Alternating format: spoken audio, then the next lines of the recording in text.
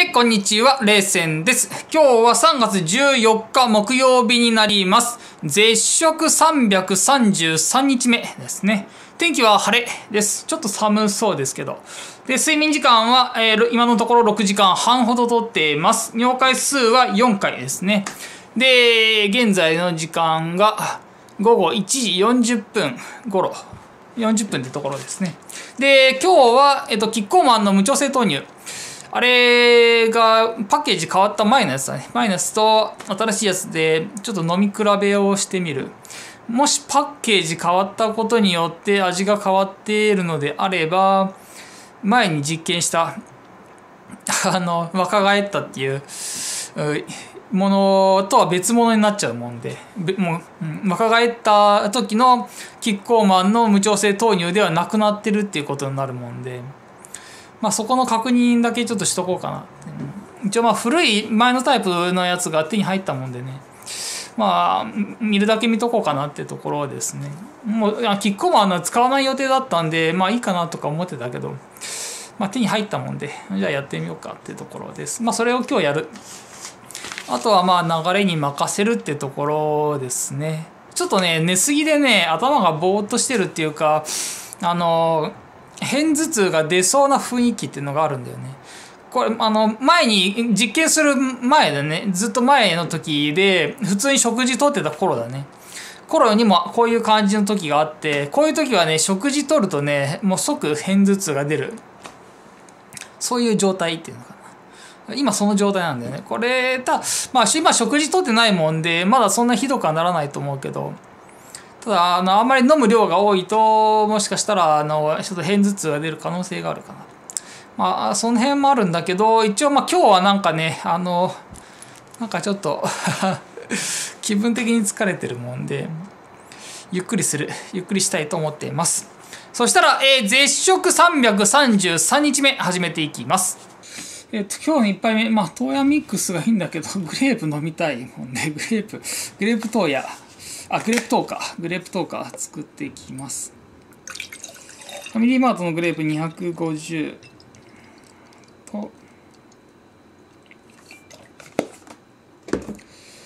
と、福連さんの丸ごと大豆ですね。これ250。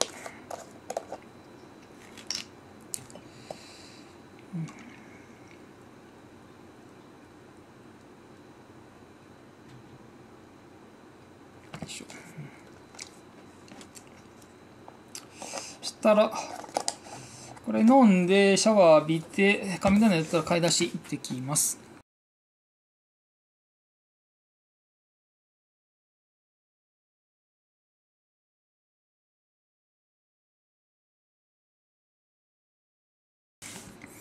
えっと、今買い出しは行ってきたところです。でまあこれこのモンドセレクションっていう書かれてる方のキッコーマンの無調整豆乳だね。これと、まあ、あの、豆乳の週間、豆乳週間キャンペーンっていう方だね。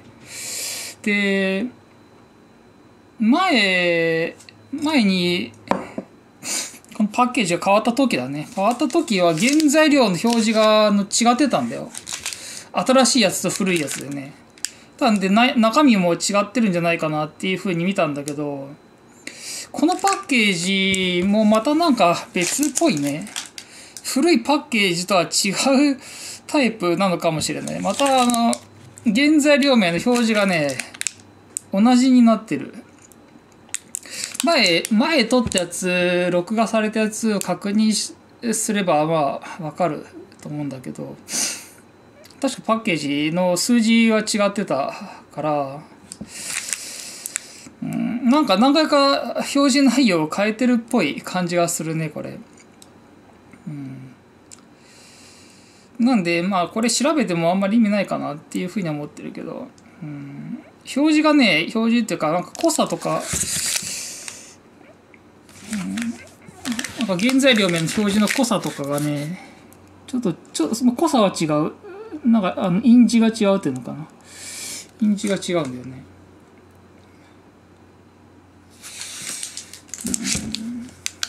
前のその原材料名の表示が違ってるやつを探さないでいかんのだけどそれはまあ多分見つからんだろうって思うんで。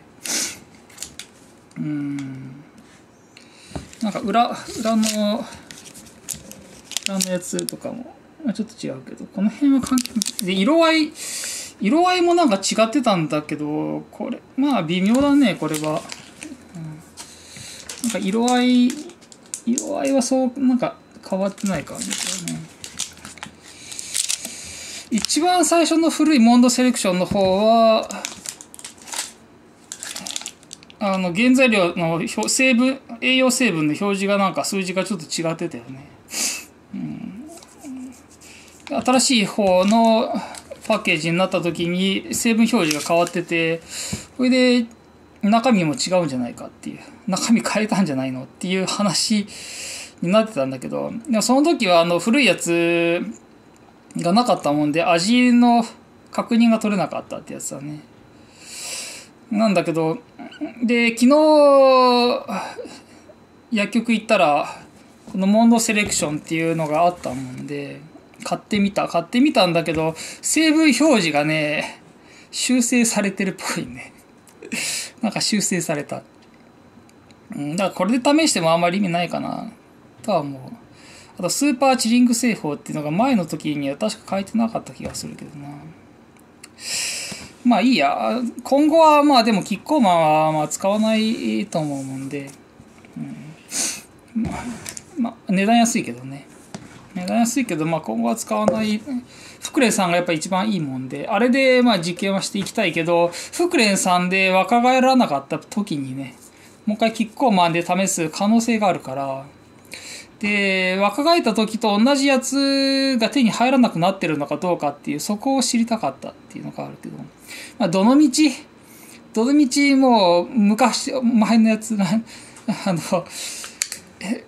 表示が切り替わる前のやつだね、中身が味が味とか製法変えちゃって変えちゃって物がま別物になってたとしたらもうあのどうしようもないもんでそれは。だからもう忘れるしかないね、うん、そしたら今の現状であ手に入るものを使って若返る、えー、そういうあの道を探さないならんっていうことだね。そういうことだ。でととりあえずこれまあせっかくまあ買ったもんで少しだけちょっと味の比べ味比べ。あんま意味ないけどね。成分表示の内容変えられちゃったか変えられちゃったか修正されちゃってるからあんま意味ないけど。とりあえず5050 50で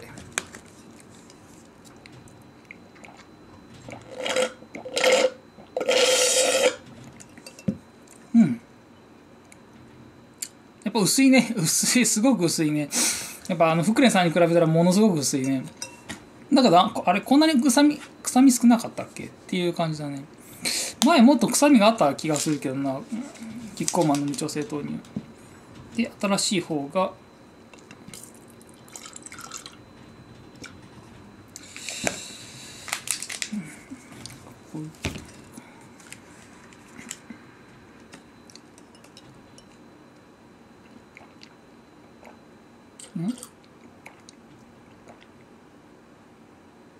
あれ、物違うわ、これ。あれ、物違うね。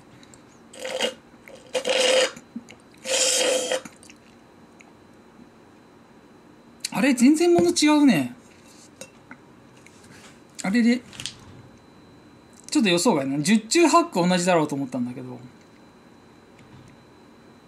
なんかでもこっちの方がね、こっちの方が濃い。なんか濃い感じがするね。こっちの方がなんかあの、薄い。モンドセレクションっていう方が薄い。なんかこっちの方が濃くなってるね。振ったのはね、同じぐらい振ったんだよ。こうやって振ったんだよ。だか濃さはね、あのちゃんとあの均等な濃さになってると思うんだよね。うん。こっちも同じで、同じようにあの振って、前にやってた通りだね。あの音がしなくなるまで振ってってやったんだけど。うん。かしいなな味が違う明らかに味違うね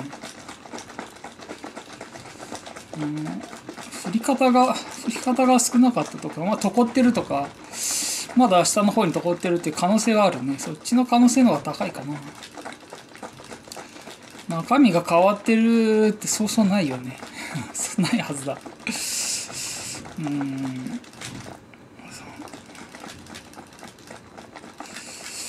おかしいな。味違う。ね。ちょっと予想外だったという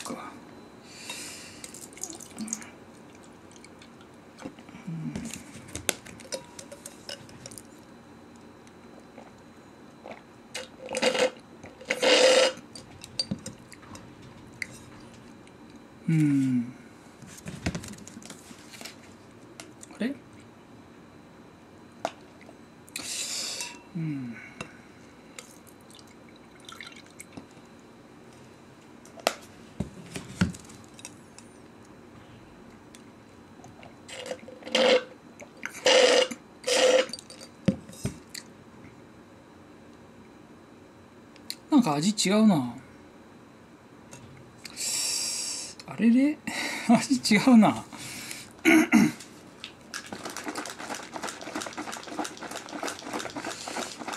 もう振りが悪いとね振りが悪いと残ってる部分があるとそれで味が変わってくるのは間違いないと思うからそれでかな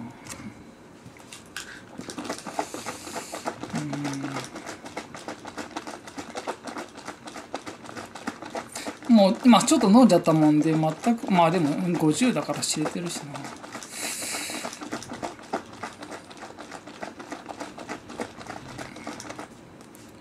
これ味違う味違うかもしれないね。やっぱあの時成分調整あち成成分の表示が変わっててパッケージが変わった時にね。やっぱあれで変わったのかもしれないね。ものも。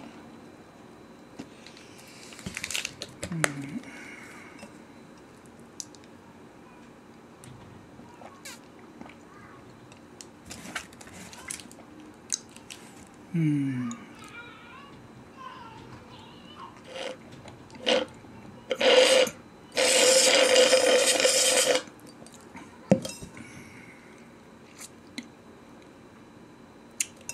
うん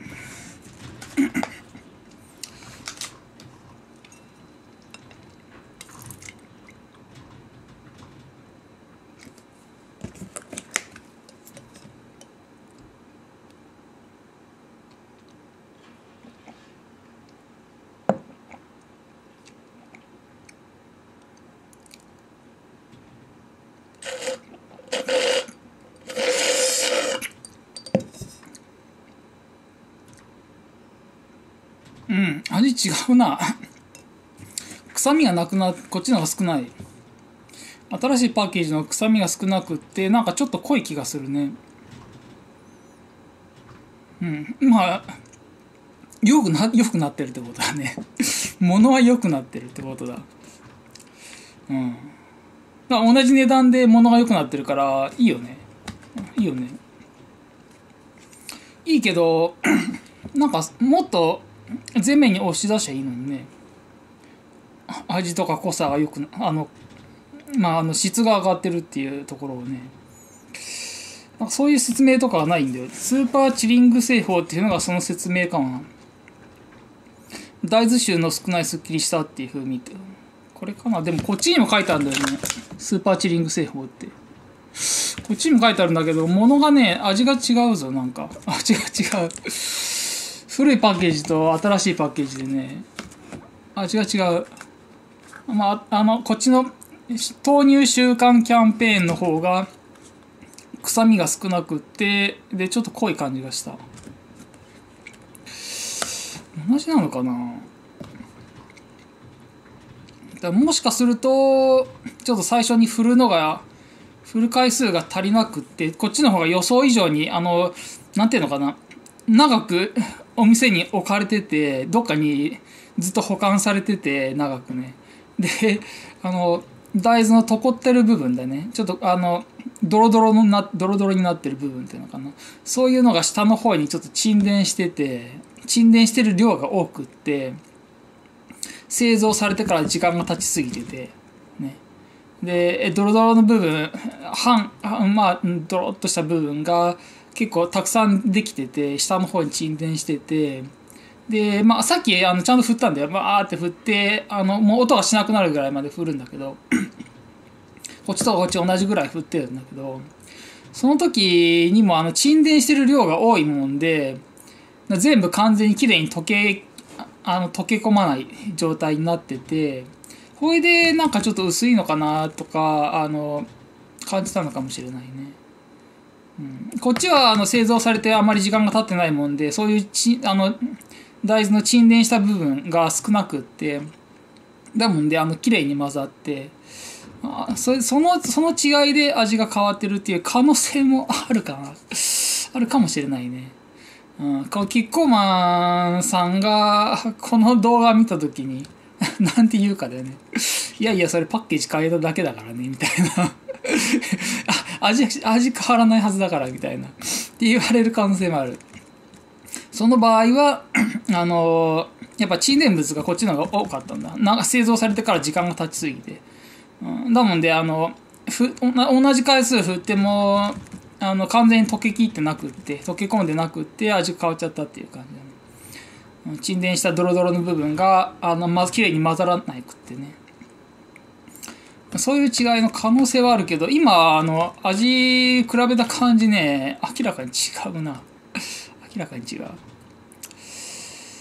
うん、キッコーマンさんに問い合わせしてみるのが一番早いけどね、うん、でも多分カスタマーに聞いてもちゃんと教えてくれないんじゃないかな。多分こ濁し濁して終わるだけじゃないかな。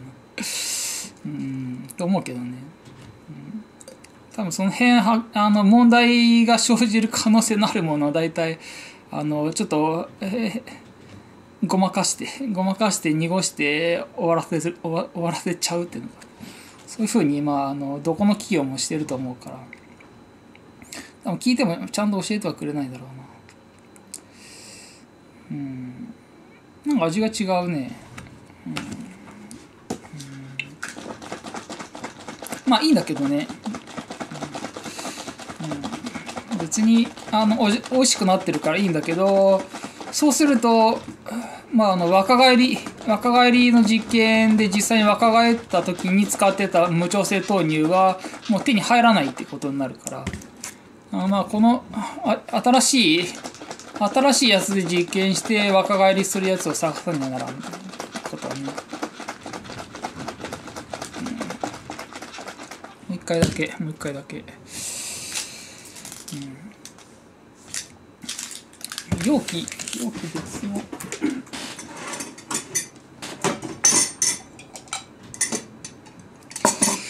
容器は別にしてもあんまり意味ないと思うけどな。順番に飲み比べするっていう点においてもね。同じ容器を使ってるからとか関係ない、まあ、綺麗に飲んでるしな、半分飲んでみたいな話でもないからな。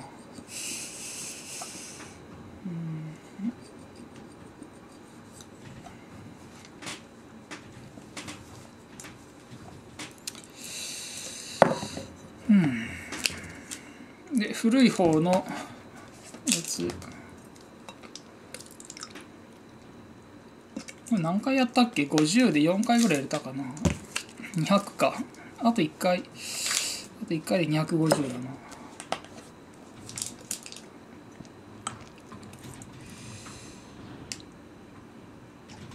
で、50。うん、で、味が。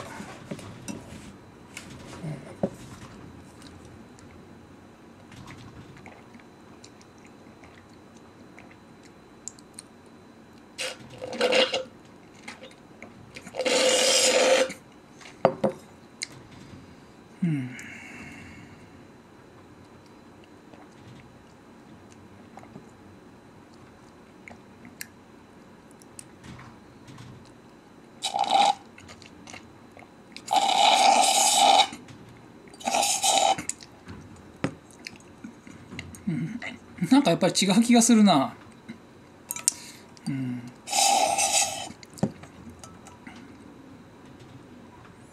うん。なんか違う気がするな。今200入れてると思うからあと1回だけやって250だからそうするとまあ計算めんどくさくないんで。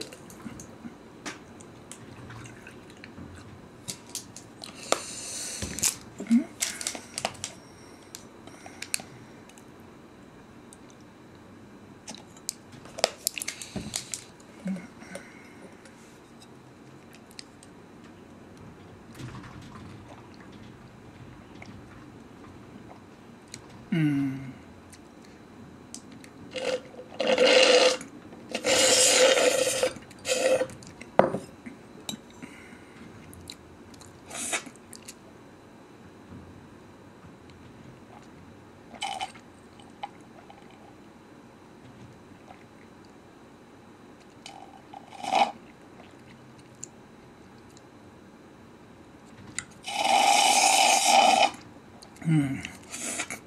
ぱ味違うな。違う。うん。違うね。変わっちゃ変わったね味。パッケージ変わってから、うん、なんかそんな感じだね。これとこれで。こっちの方が大豆の臭みが強い。でちょっとなんか薄い感じがする。こっちの大豆の臭みがあの少ない。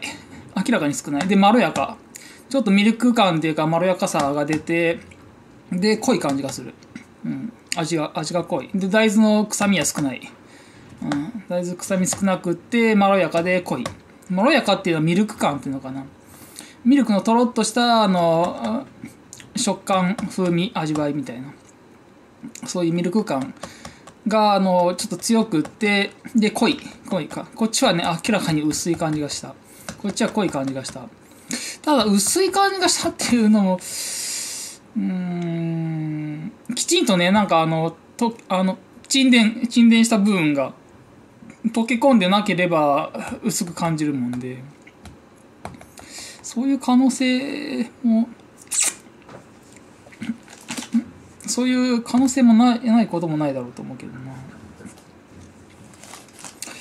ただ、まあ、今試した限りだと、一応ね、あちゃんちゃんとね、あの、あのこのノズルを刺して、で、ちゃんと音がしなくなるまで振って、うん、両方ね、試してややった限りでは、味が違う。明らかに違うね。変わった変わったっぽいな変わっちゃったっぽいなうん電話で聞いてみようかな。多分教えてくれないと思うけどな。うん。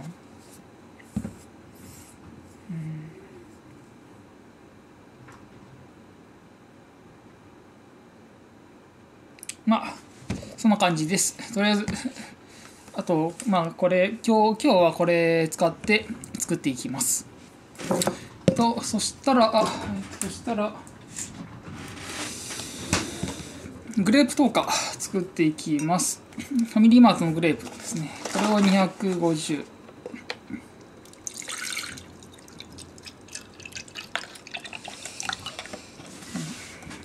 と。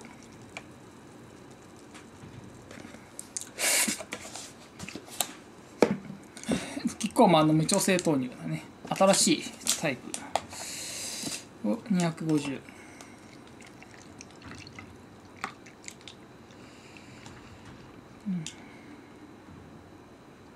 懐かしいな。このキッコーマンの。でそれとは別にスクイズスクイズのグレープフルーツ。これ買ってきたもんでこれ飲みます。そしたら取っていきます。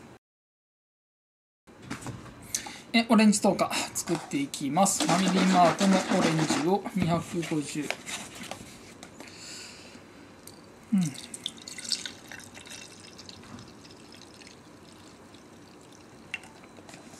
とキッコーマンの無調整豆乳を250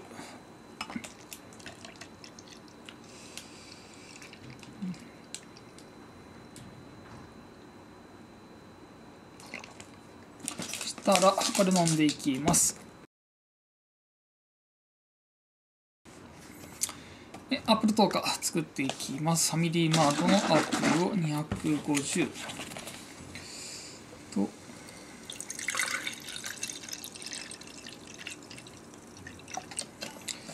キッコーマンの無調整豆乳を250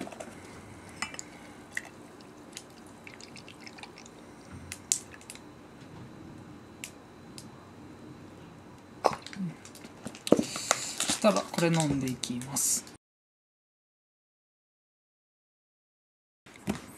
えグレープトーカー作っていきます。ファミリーマートのグレープを250ですね。うん。やっぱ今日寝すぎでちょっとね頭が痛くなりそうな感じがある、うん、これあの普通の食事とってたらねもう即なってたね。間違いなく。もう即片頭痛が出てズッキンズッキンする感じだね。寝すぎるとねある。なる。そういう風になっちゃう。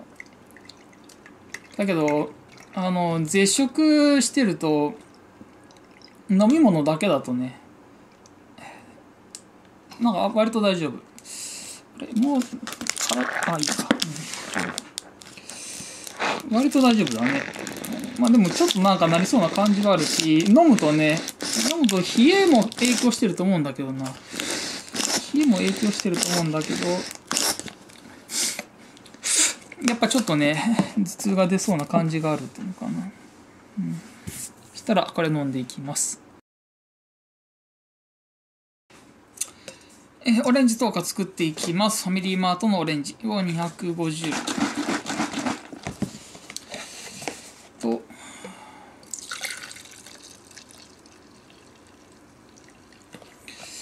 パッケージ変わった方のキッコーマン無調整豆乳250、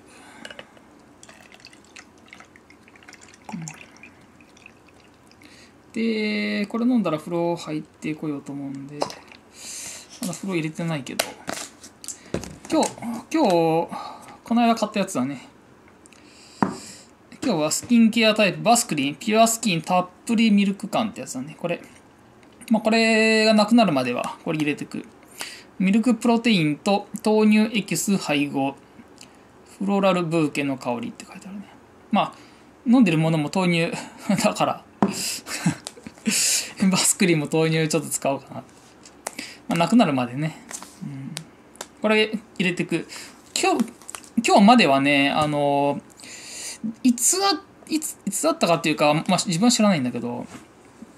うん、なんかもらい物らしいんだよね。もらい物で昔以前にもらったことがあるあの顔のバブっていうバブっていうあの入浴剤があるんだよね。なんか発泡性の泡のブクブク出るやつだねそれがまだ残っとってで多分あの洗面所の下のところにずっと入れっぱなしだったんだろうなそれがあったもんでもうこれ使っちゃってっていうふうに言ってたからまあそれ使ってた今までねあれただバブはあのこういうスキンケアとは関係ないもんで、全然肌はスベスベしないんだわ。しない。全くしない。うん。あと濃さは選べないっていうのかな。ちょっと濃いめにもできないっていうのがあって、一個一個個包装になってるもんでね。でそれがまあ、もう完全になくなったもんで、だもんで、これ、これだね。これ買ってきた。うん、で今日からはこれちょっと使う形だね。したら、これ、こっち飲んでいきます。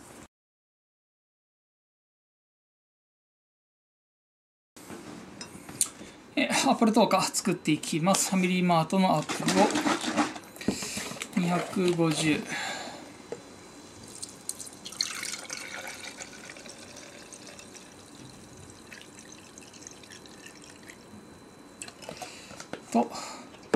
コーマンの無調整豆乳を250。こ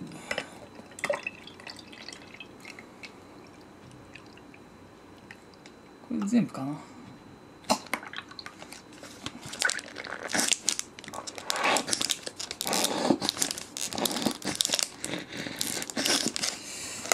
したらこれ飲んでいきます。えグレープポーカー作っていきます。ファミリーマートのグレープを250なんか癖で。グレープは振らなくてもいいと思うんだけどピューレ入ってないから。ピューレ入ってないので振らなくていいと思うんだけど癖で振っちゃうんだよね、うん、オレンジとアップルは振った方がいいね。絶対。ピューレ入ってるからね、うん、グレープは必要ないと思うけどでそしたらこれ飲んでいきます。えオレンジ10日作っていきます。ファミリーマートのオレンジを。250今日もかなり取っちゃってますね。8時まだ9時にもなってないのか。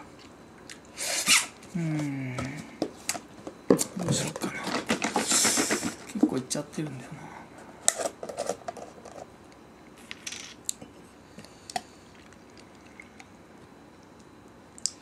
で、えー、丸台を250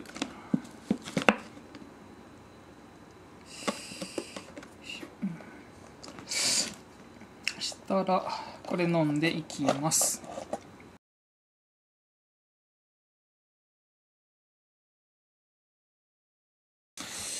えっと今日すでにかなり飲みすぎなんだけどグレープとかですね。なんか飲むと飲むとちょっと調子が悪くなる感じがあるんだよね。えー、寝すぎで頭痛が出そうな具合があってで飲むとね本当にちょっと調子が悪くなる。うん。気持ち悪さとかね頭の痛さとか出そうになるんだけどなんかね止まらない。止まらない。うん。あんまりこれ以上飲むとちょっとやばいだろうなって思うんだけどもあの例の嫌な感覚が出そうに、うん、なる。出そうな気がするっていうか。さっきちょっと出そうになったんだよね。なったからまあもうこれ以上取らない方がいいと思うんだけどな。まあ様子見ながら。これはラストにはなると思うけどな、とりあえず取っていきます。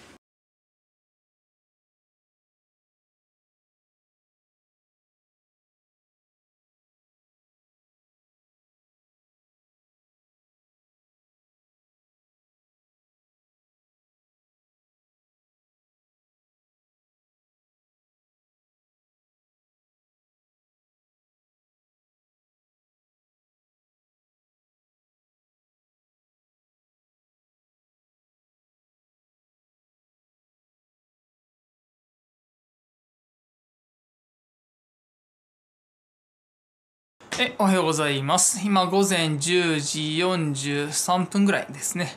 そしたら今日もういろうり3回やってから体重測定入っていきます。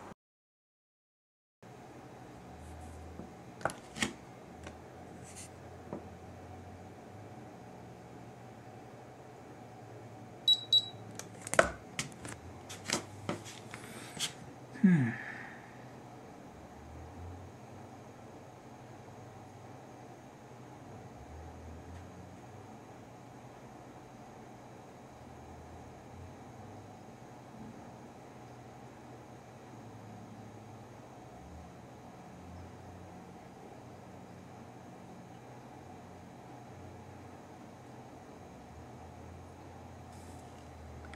ウエスト測っていきます。正面。と側面。と背中。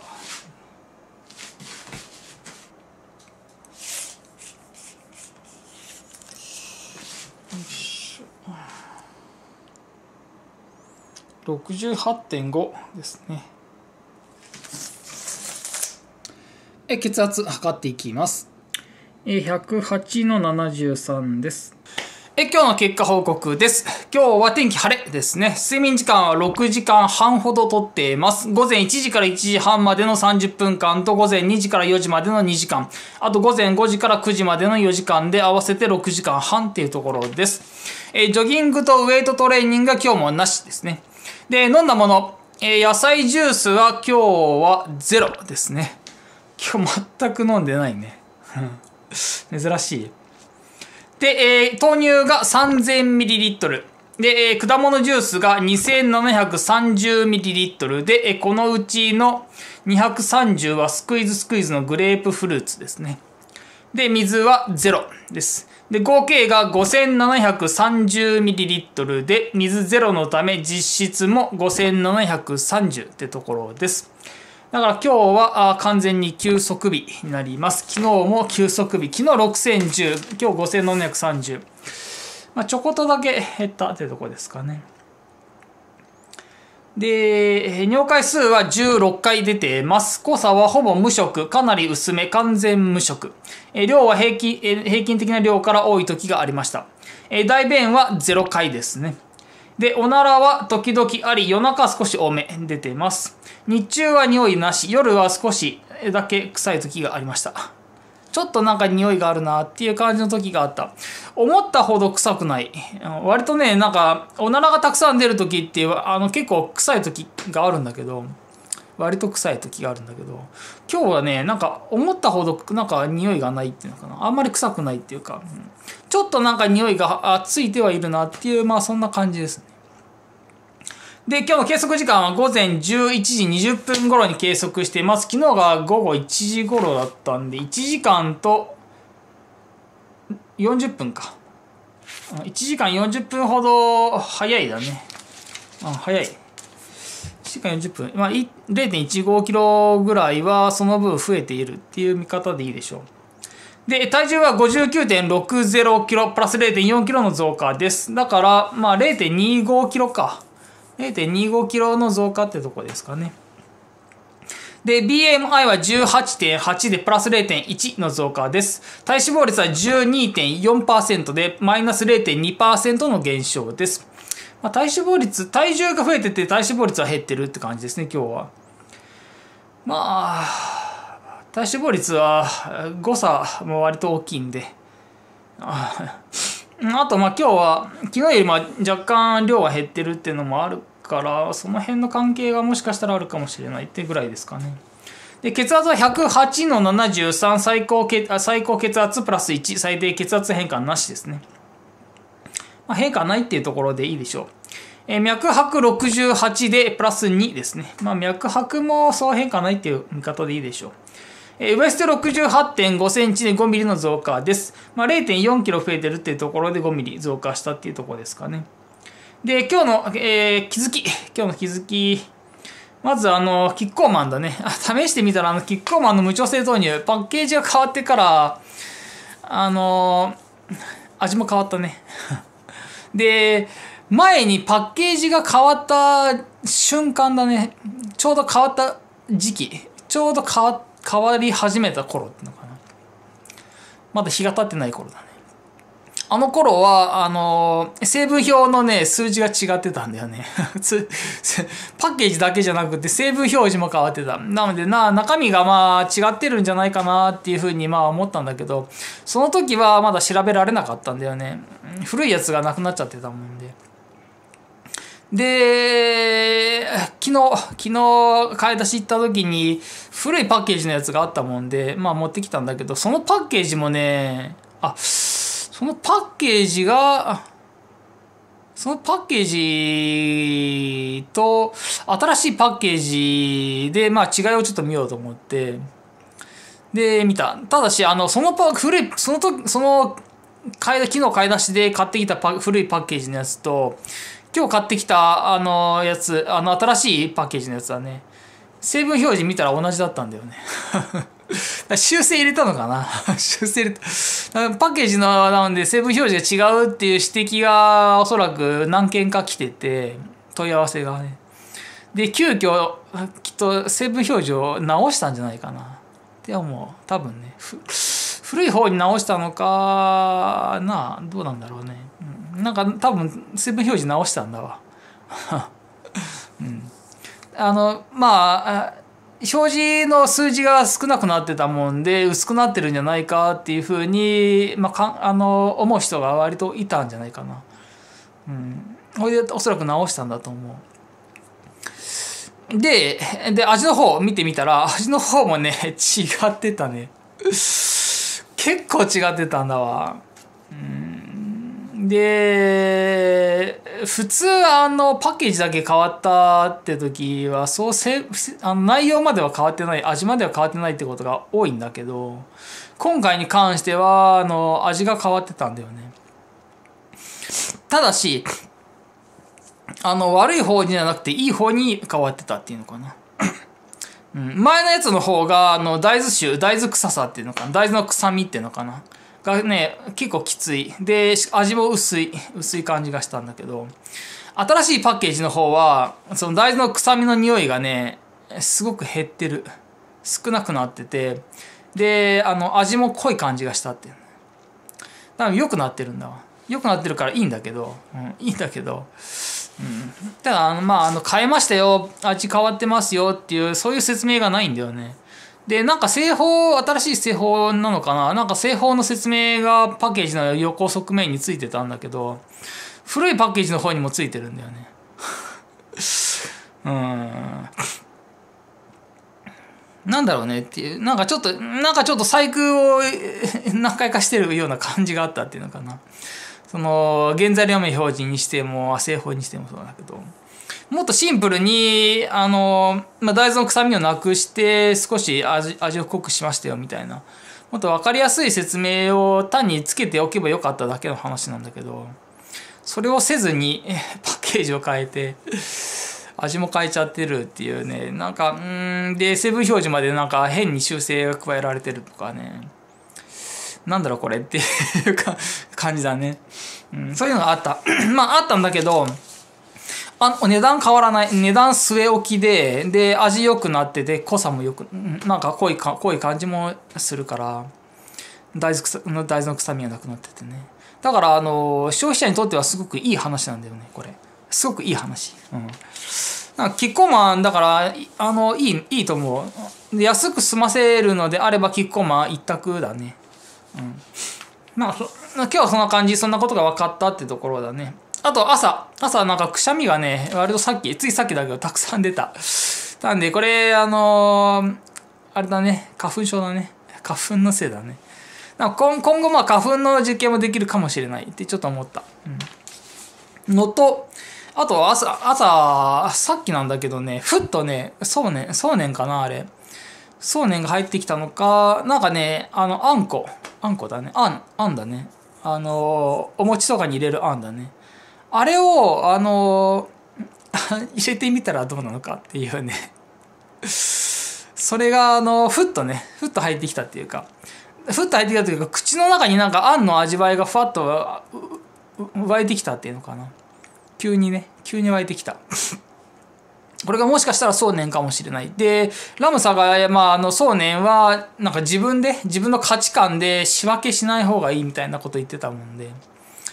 そうねはああの受け取れるように全てをそのまま受け取れるようにってその方がいいっていうふうに、まあ、書いてあったもんで本で言ってたもんで。まあちょっともし、まあこれもしかしたらあの、あん、あんをあの、無調整豆乳っていうかあの、トヤミックスとかトーカミックスの中に混ぜ込んでみたらどうなのかっていうね。あそれを、まああの、実験してみた方がいいんじゃないかっていうところにちょっとね、考えが至ったっていうかね。ただ、あんの中には砂糖が入ってるもんで、あんまり良くないんだよね。砂糖取っちゃうからね。ただ、あん、小豆に関しては豆だから、豆だから、あの、小豆はいいよね。大豆と同じで、あ あの豆類だから。うん、で、あの、無調整豆乳のミルク感、あれにはね、絶対小豆は合う。あの、あんこは合うと思うんだわ。間違いなく合う。かなり美味しいと思うんだわ。まあ、やるまでもないって感じだけどね。だけどまあそう試したことがないもんで、まあ、試すだけちょっと試してみようかなっていうふうには思ってます。な一回ちょっと買い出し行って明日ね明日分で買い出し行ってあんこ買ってくるなんかね見繕ってくる。で、無調整豆乳に混ぜ込むタイプと、あと、豆腐ミックスとか、豆腐ミックスに混ぜ込むタイプだね。で、味がどうなのかっていうのをちょっと見るだけ見とこうかな。まあ、使うのは大さじ1杯か、うん。だけど、無調整豆乳に入れるんならもうちょっと多い方がいいかもしれないから、大さじ2杯とか3杯とかで試してみてもいいかなと思ってますけど。うん。豆乳がね、豆乳がどんどんなちょっとなんかなくなっちゃうのがもったいないかなって気がしないでもないけどまあそこちょっと一回試してみようかなって思ってますまあそんなとこですかねうんで、えー、あと顔の状態顔の状態今日はね悪い悪いね明らかに老化してるねこれ 老化してるで今日はあの野菜ジュース全然取ってないもんでゼロなんだよやっぱね、野菜ジュース取らないとね、老化がひどいな。うん、で、あの、野菜ジュース取らないのと、あと量が多いのだね。野菜ジュースと量が多いの。この2つダブルパンチだね。やっぱこの2つが大きい。うん、だ量多くすると老化する。で、あと野菜ジュース取らないと老化する。今日はそのダブルパンチだから、かなり顔が、この状態悪いね。うん。まあそんなところかな。あとはまああのバスクリンのピアスキン。あれはやっぱいいね。いい。やっぱいい。あの、プレミアムの方がいいな。なんとなくね。なんとなく、あの、なんあの湯の色合いとかもいいしなんか、うん、やっぱなんかあのやっぱ質がちょっと違うかなって。普通の普通のピアピアスあのプレミアムじゃない方のピアスキーに比べたらね。プレ値段も同じなんだよ。プレミアムとそうじゃないの値段が同じなんだよ。だったらプレミアムの方がいいよね。うんって思った。なんかやっぱね肌のすべすべ感とかも違うから、うん、あれはいいなと思ったまあ今日はそんなところですかね。そしたら、えー、絶食333日目完了です。それではまた明日。